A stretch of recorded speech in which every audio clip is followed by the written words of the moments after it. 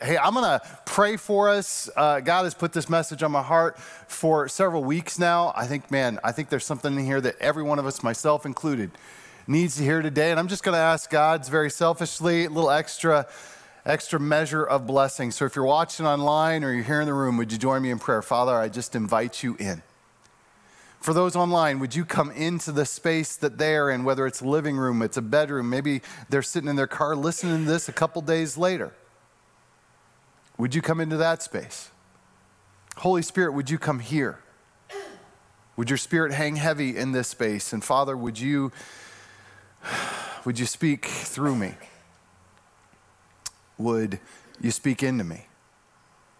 And that Father, would today not be a day that we just check the church box, but that Father, today would be a day that we encounter you. Because it's only through encountering you that we are changed.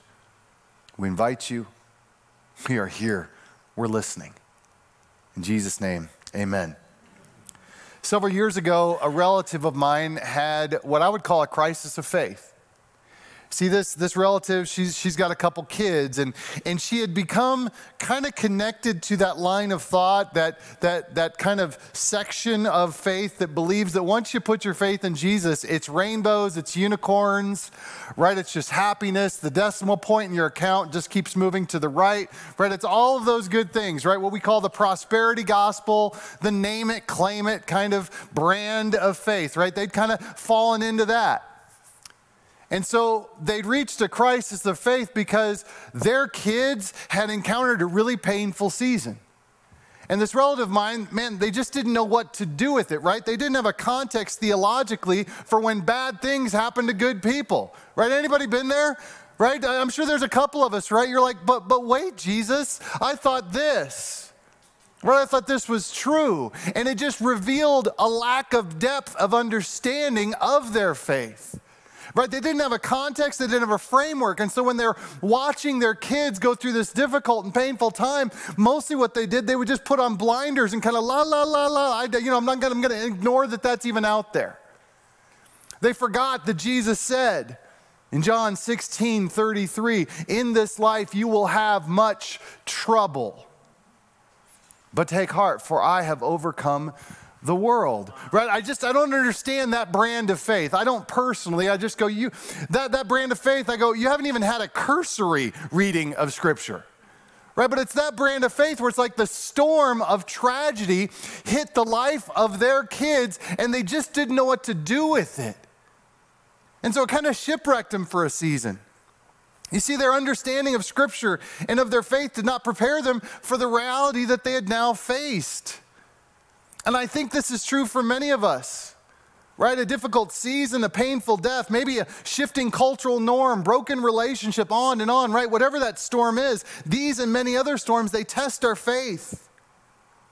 And they often reveal how anchored or not anchored we are to our faith.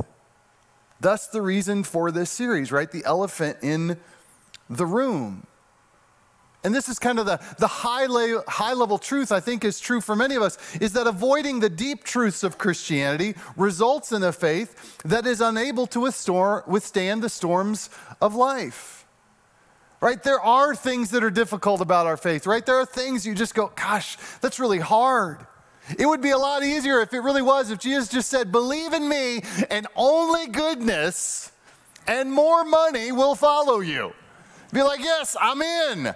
Sign me up. But you know, he says things like, In this world you will have trouble. Wait a minute, what?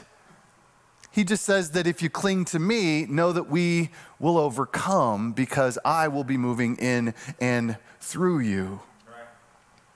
We often treat truths that we don't fully understand or that make us uncomfortable like elephants in the room dancing around them at the expense of anchoring ourselves to a deeper faith that will sustain us. See, this relative of mine, she hadn't anchored herself to the deeper truth, the, the reality that, that actually storms will come, that actually Jesus tells that you're going to experience pain, hardship, if anything, because you now follow me, it might get worse. And so they're unprepared for those kind of storms, and the trees of their lives get toppled over. And so, what? We're, we're just not going to avoid those things. We're going to dig deeper into them. And so, as part of the series, we've looked at a few of these elephants in the room. We began week one with the Word of God, right? The Word of God, the Bible. That in itself has been this, this kind of elephant in the room, I think, for many of us, because it's like, well, well, I like some of what it says, but there's several things I don't like. And so I'm going to treat it like a buffet. I'm going to, I'm to take the things I like, I'm going to embrace those. I'm just going to set aside the things I don't. I'm going to treat it like an elephant in a room because, you know, I Googled it once and it says that I should be skeptical about it. When in fact, it stands the test of time. That the Word of God, Scripture, is a wholly unique book that has been supernaturally shepherded down through the ages to you and I, and that we can actually approach it with confidence. That, like the writer of Hebrews says in Hebrews 4, 412 the, for the word of god is alive and active sharper than any double-edged sword. It penetrates even to dividing soul and spirit joint and marrow. It judges the thoughts and attitudes of the heart. And so because it is that we don't have to approach it with skepticism. No we can approach it with confidence right? That was week one, the, the Word of God. And then Stone, give it up for Stone. Did a great job last week. Right? So the first elephant was the Word of God, the second elephant was the way of God right? We, we live in a culture right now that, man, it's okay that there can be a way to God, right? You can have your way, I can have my way, uh, you can have, you know, A, B, C, D, E, F, G way to God. But when it becomes the way to God, mm, people get a little nervous, and so now it's an elephant in the room we're going to dance around. All of a sudden, you're like, boy, you got very specific. And for some reason, we equate Jesus' specificity with some form of exclusivity. And that's not true. He knew that we faced a specific problem, our sin. He knew that our specific problem was is that we were separated from a holy God. And so he specifically gives us the way forward when he says in John 14, 6, I am the way, the truth, and the life, and no one comes to the Father except through me. He's not exclusive, he's being specific because that's the best way he could have loved us. That's the second elephant in the room. And now we come to week three. Today's elephant is the wrath of God. Week one was the Word of God, two, the way of God. Today is the wrath of God. I know those of you that are visiting, maybe you're watching on, you're like, I've been hoping. If we could just talk about the wrath of God, boy, I'm so excited. Uh, I mean, I want you to hang with me here today, I really do. I think there is so much confusion, distrust, and I think fear around the wrath of God. And yet, my hope is that by the end of our time here today, that you will see that the wrath of God is foundational. Foundational, hear me in this, in, in victorious and hope filled living. That actually there is hope and victory because of the wrath of God. And understand that for me personally, this has been a significant elephant in the room in my own life. I've pushed against it, ignored it, and avoided it. No, I want nothing to do with God's wrath. And I bet I'm not alone. Anybody here go, yeah, give me some wrath. don't you raise your hand, Robin. I psyched you out there for a minute. You're like, what? Oh, no, I don't want, I don't want God's wrath. No, we don't want that. We push away from it. We try to get as far away from God's wrath as, as much as possible. I have done that for years in my own life, particularly as a young men, at my own peril. You see, grace, grace I get.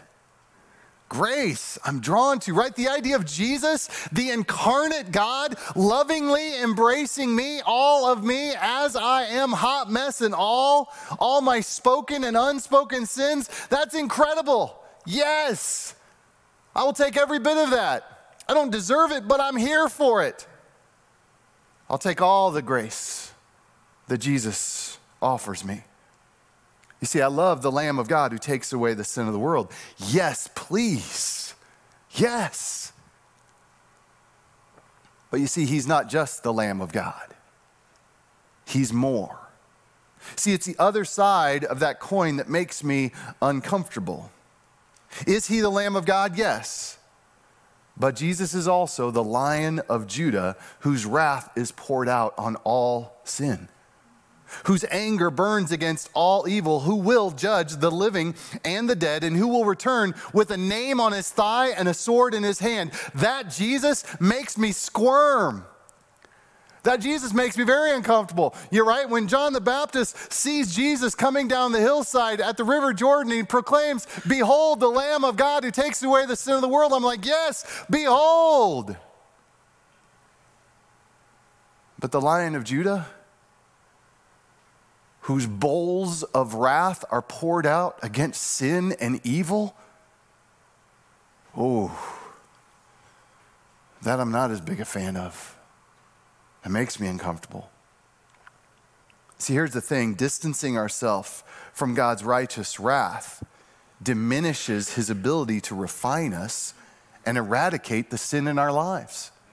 See, we can't have it just one way, right? We, we aren't given, Jesus doesn't give us that option to take a buffet approach to his nature, to his character. We don't get to just go, I'll take, I'll take a double portion of the Lamb of God while I'm just going to set aside the Lion of Judah. No, he doesn't do that because he loves us too much, because he knows that distancing ourselves from his righteousness and wrath diminishes his ability to refine us and eradicate sin in our lives. Let me ask you a question, right? Do you struggle with the same sins and mistakes over and over again? Don't you raise your hand. Do you struggle with the same mistakes and sins over and over again? I'm not the only one in that category right? I'm certainly better, I'm closer to what Scripture describes as sanctification, right? The process of being refined, right? I'm closer. But our lack of struggle, I want to say it's because we don't understand God's wrath. Does your faith journey feel like running on a treadmill, expending lots of energy, but getting nowhere? I believe that a deeper understanding of God's wrath can lead to personal transformation. Let me say that again. A deeper understanding of God's wrath, Jesus' wrath, can lead to personal transformation. But there's a problem. See, the problem is, is we like to divorce the wrath of God from the person of Jesus right? So many of us do. I've been guilty of this, right? You look at the Old Testament God, wrathful, wiping out people, killing people, right? People struck dead, those kind of things, right? Entire entire communities, right? A, a town, a city, right? Destroyed. And you're like, well, that can't be true. I'm going to take Jesus, suffering servant. Yes good shepherd. Yes, not the God who calls down fire and brimstone on the entire town of Gomorrah. No, I'll take the good shepherd. I'll take the Jesus who, who tells me to forgive 70 times seven. I'll take the Jesus who says to turn the other cheek. I'll, I'll take the Jesus who looks at the crowds with compassion, not the God of the Old Testament who sends a flood to eradicate evil across the globe can't be the same. I'll take the Jesus who tells the woman caught in adultery, Neither do I condemn you. And I get it, man, I, am there with you. Right? We celebrate Jesus as compassionate Father, which He is, but avoid Him as righteous judge and conquering King. This is a problem. You see, we cannot separate Jesus from both His natures, He's one. He is the Lamb of God and the Lion of Judah. Embracing the one while denying the other leaves us with a neutered faith and a foundational misunderstanding of who Jesus is and his ultimate purpose. And so we've got to, we've got to unite these two ideas. We've got to, we've got to understand that the, that the God we see in the Old Testament is the incarnate God revealed to us in Jesus in the New Testament. They are one and the same, they are full and complete in both their natures. And so I want you to see, we're going to look at a couple passages here, and you're going to see that this is the same Jesus, is the Jesus of the Old Testament. There's the same nature there. Right? Jesus says, I did not come to, to change the law, but to fulfill it. He's the fulfillment of everything that we saw in the Old Testament, complete in the person of Jesus. So go with me. This is Matthew 18. A little background, we're going to pick it up here in verse 6 here in a minute. But Jesus, he's been, he's been teaching, he's been sharing his thoughts, right? And the crowd, everybody's just like cut to the core whenever they hear Jesus speak. And then in specific, I love this image, right? Children are naturally drawn to Jesus. I love that image. And so the kids, right, they would just come to him and I just picture Jesus sitting, right, kind of Indian style in the grass or whatever. And kids are just, he's like the human jungle gym, right? He's the favorite uncle, the grandpa, right, that the kids can't stay away from. And the disciples are like, guys, guys, back off. Let the rabbi teach. And Jesus like, no, no, no, let him come to me. I love that image.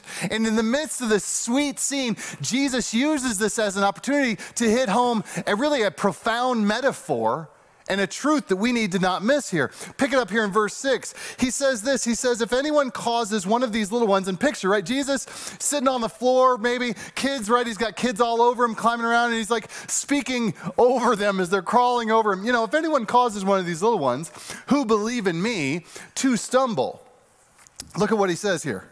It'd be better for them to have a large millstone hung around their neck and to be drowned in the depths of the sea. And he probably says it with a bit of a smile. Huh? Did you catch that? This loving, grace giving, joy filled Jesus just said that if someone leads children, and by extension, again, there's a metaphor here he's giving us, those young in their faith astray, or leads them to believe less than the complete truth, that person will be forcefully and unremorsefully drowned to the depths of the ocean. And he gets very graphic about it. He's not subtle, right? Kids climbing over him. Oh, let the children come to me. Oh, by the way, if anybody leads these little ones, those young in their faith astray, here's what's going to happen. We're going to take a millstone. And then he gets specific, not just any millstone, no, a large millstone, right? 10, 15 feet in diameter. This is what was used to mash grain for an entire community. We're going to take that, we're going to drive them out to the middle of the ocean, we're going to tie it around their neck, we're going to pitch them over the side and watch as they sink and the air erupts out of their lungs. Oh, and by the way, what I'm describing would be better for them than what will actually happen. Jesus is not playing when it comes to leading people away from his truth. Right? It's got to be one of those moments if the disciples, wait, did, did you just hear what he said? This is the same Jesus, the same God from the Old Testament, is the Jesus revealed in the New. And he doesn't stop there. Goes into verse 7. He says, Woe to the world because of the things that cause people to stumble. Such things must come, but woe to the person through whom they come. You always have to be aware in Scripture when they repeat themselves, right? What are the two? What, how does he repeat himself? Woe. It's the Greek word wai. It's a primal scream of grief and dread exclaimed in the face of certain destruction. It's the sound that you would hear in the cabin of an airplane going down. That level of scream of pain and grief and dread. It's the screams of a village that is about to be bombed from above.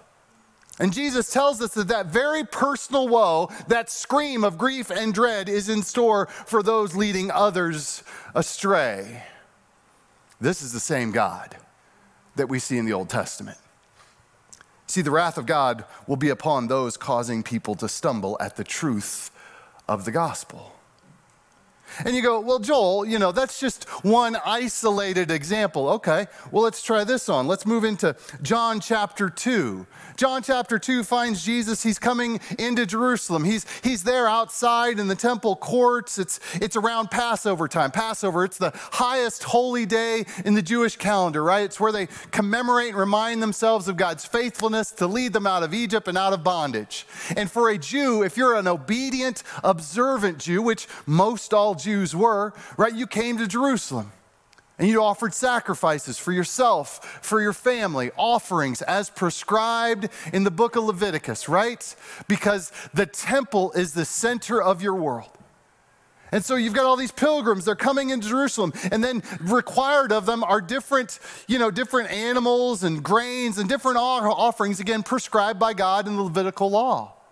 It's into this scene that we pick it up here in verses 13 and 14. When it was almost time for the Jewish Passover, Jesus went up to Jerusalem. And, and be clear, during, Jerusalem, during the Passover, Jerusalem swells to about three times its size. So it's over 100,000 people. It says in the temple courts, he found people selling cattle, sheep, and doves, and others sitting at tables exchanging money. See, here's what was happening is that we as people, right, we never miss an opportunity to make a buck. And that's what had happened in the temple courts. People were making money off of others' devotion and faithfulness. See, people had gotten together, realized, oh, people are coming into town. Oh, this is a great time. I'm going to make a year's worth of money in this one week because I'm going to I'm going to come out with all the animals, with all the doves, with all the right, with all the grains, all that, and I'm going to sell it. I'm going to gouge people who are coming here seeking just to obey what God has commanded them to do. See, they had turned obedience to God's commandments into personal profiteering and profiling. And this Jesus, the Lion of Judah, could not abide. So what happens? John 15, John 2 15. So Jesus, he made a whip out of cords and drove all from the temple courts, both sheep and cattle. He scattered the coins of the money changers and overturned their tables. Again, did you catch this? First, he methodically and purposefully makes a whip right? Jesus comes in, pictures the scene. He sees, right, all these men, they're making money off of people's faithfulness. He's so moved by it, he's so angry, filled with wrath and rage. He goes and he sits down premeditated. He gets the materials necessary. He takes his time to make a whip. Right? He's like, I'm going to make a good one. Oh, man, you know, you can just sit, right? Disciples like, what's he doing? And he's just sitting. You can just see him. Sometimes I would see my dad get more angry by the dumber things I'd say to him, right? I, would be like, oh, he's angry. I'd say something, I'd just make it worse, right? And you picture him, he's just looking at these guys. He's tightening the cords. He's making this whip, right? So he makes a whip out of cords, methodically, purposely, with the intention to use it on others. He didn't just hold it in the air and wave it. Don't make me use this. Also, let's paint an even more realistic picture.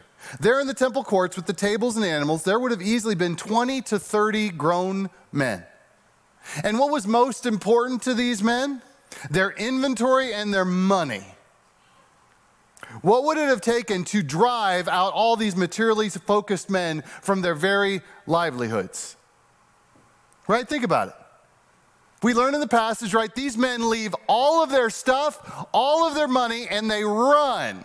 Right? It says Jesus drives them out. What would it have taken? Would it have been a Bible verse being quoted at them?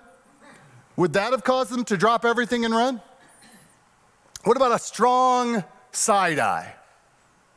That have caused them to run? What about a, a well worded retort from Jesus? No, much more than that. He made the whip to use the whip hollering and whipping these evil men who were taking advantage of others. Then he whipped the animals and turned over all the tables. This took time, intensity, and a level of righteous anger we don't often describe to Jesus. Grown men went running in fear at the wrath Jesus displayed.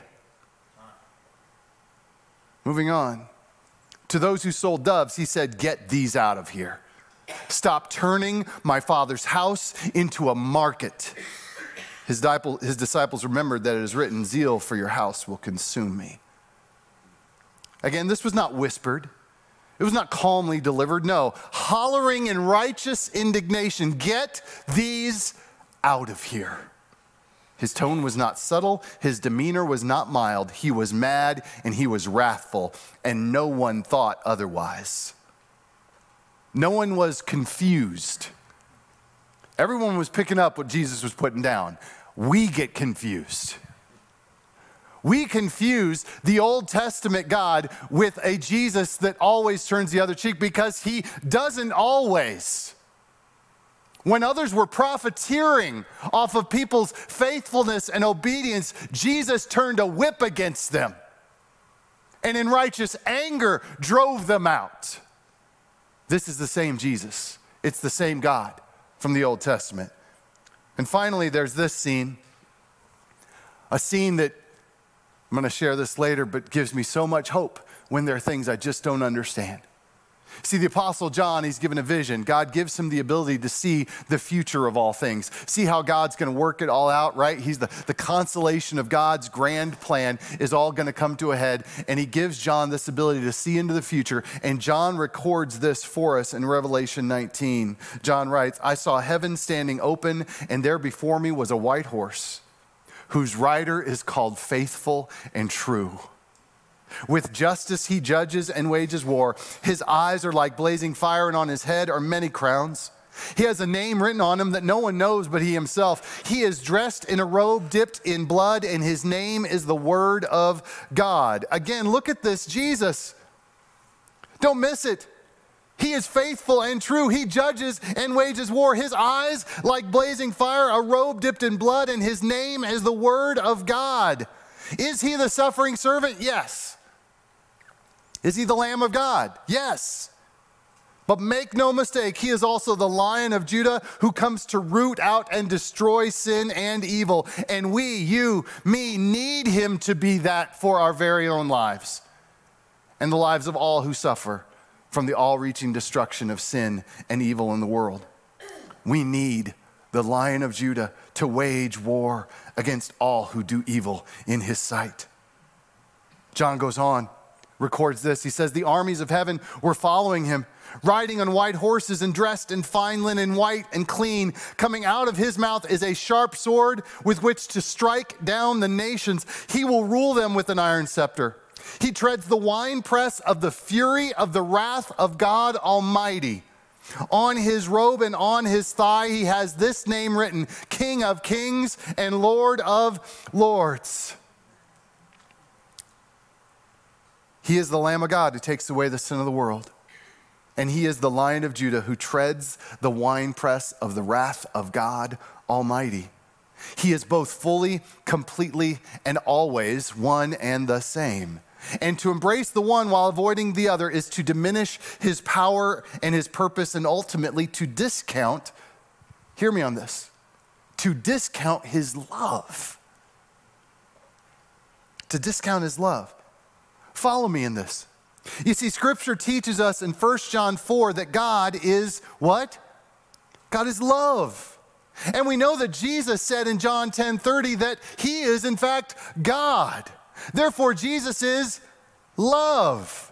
And we must understand that his love doesn't come after his wrath or as some sort of antidote to the wrath of God. No, love is his character and nature, and all that he does flows from that one truth that he is love. It is because of his love that he placed himself upon that cross that we could not carry. It is because of his love that he died the death that we could not die. It is also because of his love that his wrath is poured out on sin and evil. It's his love that pours out his wrath. It is because of his love that he rages against those that would lead others astray. It is because of his love that he pours his anger on those who would stand in the way of others' faithfulness. And it is because of his love that he will tread the winepress of the fury of the wrath of God Almighty, as he will one day say, Enough enough.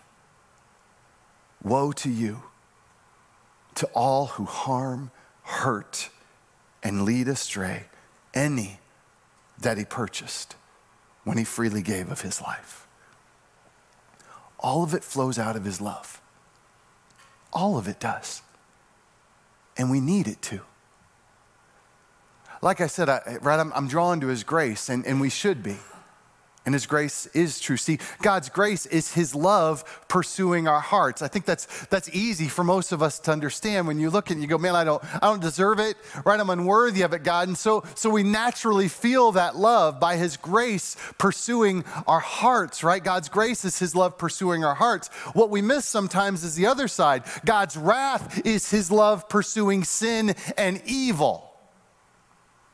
And both have to be true for him to be perfectly loving. You see, God's wrath is necessary for evil to be eliminated and for all of us to be transformed. You can't have it just one sided, it must be both. I read this quote this last week from author Aaron Wilson. He says, The sacrificial death of Christ transformed God's enemies who were exposed to his wrath into God's children who are sheltered by his love. Isn't that great? Oh man, he, he says it better than I, so I just go, I'm just going to quote him. The sacrificial death of Christ transformed God's enemies. And who are God's enemies? All of us. Right? Two categories in all of existence a holy God and jacked up humanity. Which category are you in? right? He says the sacrificial death of Christ transformed God's enemies who were exposed to his wrath into God's children who are sheltered by his love. So, what then should be our response to this truth? What then should be our response if we no longer treat God's wrath as an elephant in the room? I give you three things, and they're all physical things. I, I, just think in these kind of terms. First is this you want to understand, you want to dig deeper into God's wrath. Number one is kneel in confession. Kneeling confession. I love the scene of the prophet Isaiah in chapter 6, right? He's brought into the throne room of God Almighty. He drops to his knees and cries out, Woe is me, I'm a man of unclean lips, right? His first response when confronted with the true holiness, righteousness of God is to kneel and confess his sin. Again, this this should lead us this way. There, there's hope, there's life here, right? If we understand God's wrath, it causes us to kneel. Confession is such an underused tool in the toolkit of believers. Scripture tells us, right? Confess your sins to one another that you may be healed. What's our first response to understanding God's wrath? Kneel and confess. The psalmist writes, Psalm 32 5, Then I acknowledged my sin to you and did not cover up my iniquity. I, I said, I will confess my transgressions to the Lord, and you forgave the guilt of my sin. Man, what does it look like in your life to kneel in confession? Maybe that's as you're listening to this, if you're online, maybe it's in the room, it's later today, maybe it's exactly where you're sitting. Maybe it's just mentally a posture of just going, Lord, I confess I confess my lies, I confess my greed, I confess my pride, I confess my lust, right? Whatever that list is, kneel in confession. Number two, after we kneel in confession, walk in humility. Walk in humility. Here's what Old Testament believers always understood and appreciated God sets his face against injustice, evil, and all sin. This includes every one of us right? His wrath is always against sin and evil. You see, we don't need to live in fear of God, but it is to our benefit that we deeply respect His power. So, first, we're going to kneel in confession. Two, we're going to walk in humility. The prophet Micah says this in 6 8 He has told you, O man, what is good, and what does the Lord require of you?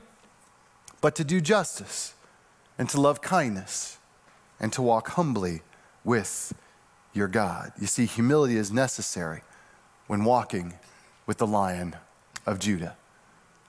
So, the two things, right? First, two things we're going to do as we understand this elephant. We're no longer going to avoid it. We're going to recognize it as the very nature of God, actually as an outflow of His love. And so we're going to kneel in confession and we're going to walk in humility. Third one is this we are going to run from sin. We're going to kneel, we're going to walk, and then we're going to run from sin. This is the most practical and obvious one, but often the least applied. Run from the thing you know to be wrong. Run from it. Right? We're really quick to ask forgiveness, most of us are, and then we keep going back to it. Keep doing the thing. No, run from it. Don't keep tempting yourself with it. God's wrath is against all sin. We wonder why we keep experiencing God's wrath and discipline. I just don't understand. I don't understand why I keep facing these negative consequences in my life. Well, do you keep going back to the same sin? Yeah, I know, I don't get it. Maybe stop it. Maybe run from it. He loves us too much to look past our wrongdoing. He loves us too much to leave us unrepentant in our sin. He rages against sin always for our sake and for our refinement. The Apostle Paul, writing to his spiritual son Timothy, says this But you, man of God, flee from all this. He's been describing some sins, and he's like, No, flee from them. Literally, run from them and run towards what? Pursue righteousness, godliness, faith, love, endurance, and gentleness. Friends, again, watching online or here in the room, what is that sin you have not yet ran from? What are those painful consequences you keep choosing to accept? Aren't you tired? No, church. Let today be a different day. where we say we will no longer avoid the elephant in the room of Jesus' wrath. No, we will seek to understand it more fully, to see that Jesus is not at war with us, he is at war with our sin and with evil all around the world. And our sin cannot be eliminated without there first being a death. That is the cost of sin. It must be put to death. As the Apostle Paul says, the wages of sin is death, and that remains true. And Jesus' wrath is justified in destroying utterly my sin, of killing it. Therefore, when I receive Jesus, his truth, his love, his redemption, I also am receiving his death as my own because that is the cost of sin. That's the that's again that's the deeper beauty to the to the sacrifice he gave. Right? Sin has always required death to cover it. Because that's what God's wrath does to sin, destroys it utterly. But Jesus saw, I could not take that death. You could not take that death. He alone could. He didn't eliminate God's wrath, He took it fully. Every bit of it. He allowed all of it to hang heavy on him for you and I, for our sake.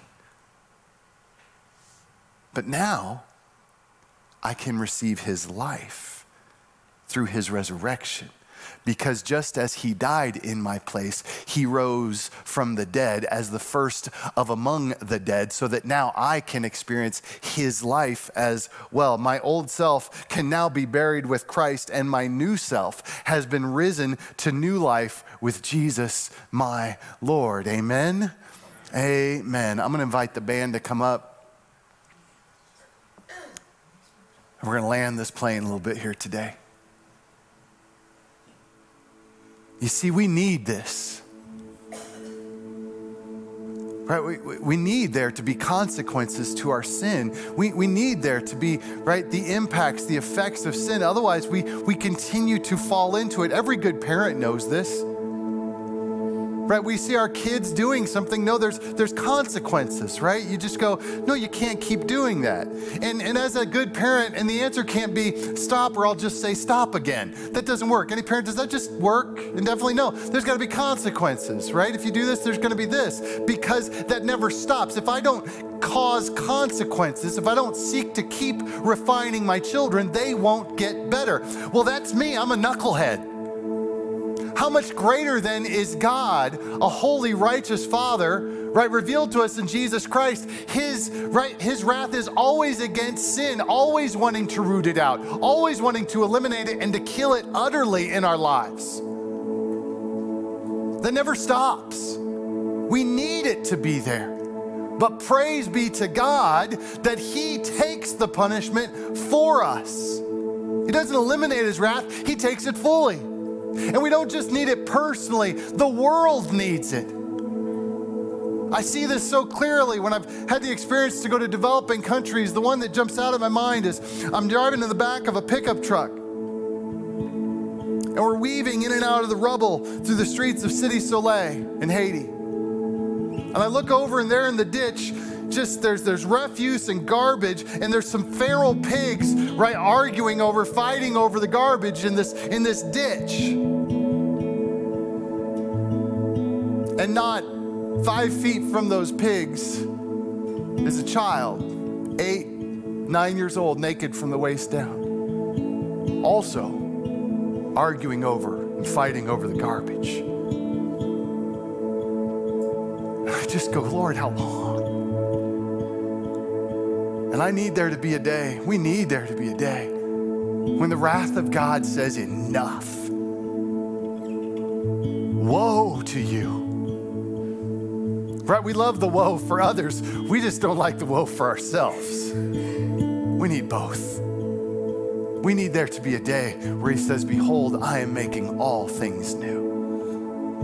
And I'll wipe every tear from their eyes, and there'll be no more crying for God now makes his home with us. And for that to happen, there has to be his wrath poured out on sin and evil utterly.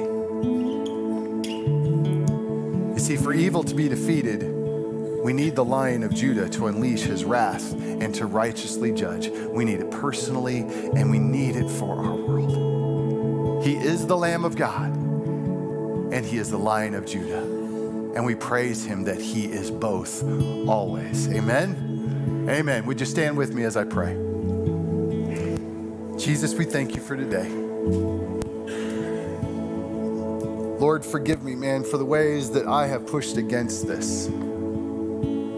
Forgive me for the ways that I've just wanted to deny this part of your very nature and your character because I don't like it. It makes me uncomfortable. I don't like discipline. I don't like pain. And yet by doing so, I've extended, I've made, I've made my sin, my mistakes, I, have made them longer, I've made the consequences of it worse for myself and for family, friends, all of that because I wouldn't just embrace this, this part of who you are. Father, my, I believe that there's many of us, both watching online and here in the room, that have done the same. And then we wonder why we keep falling into the same mistakes. We've attempted to neuter you somehow, and that's never been true. We praise you as the Lamb of God, and we thank you for being the Lion of Judah. Father, let us, let us live in the reality and the truth of both. That we would kneel in confession, that we would walk in humility, and that we would run from sin, trusting in you. We pray this in Jesus' name.